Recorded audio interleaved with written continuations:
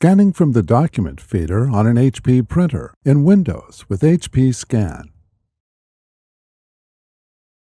HP Scan is available when you install the latest drivers and software for your printer from support.hp.com forward slash drivers. On your printer, load the pages to scan face up with the header first in the automatic document feeder. Adjust the guides to rest on the edge of the stack.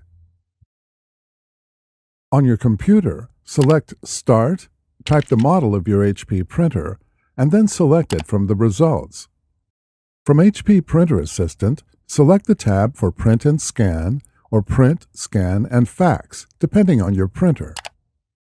Select Scan and then select Scan a document or photo. Before heading ahead into the video in case you are facing any issue with your HP printer device, get in touch with our HP printer expert. Select the Scan shortcut for the type of scan you want.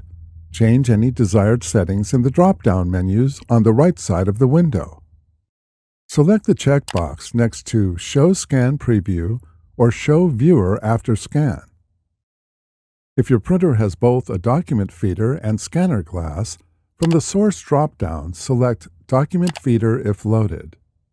If desired, select Advanced Settings or More to change any other scan settings. Select Scan. A preview of the scan opens. If necessary, double-click the thumbnail image of the scanned item to make additional changes. Select Save.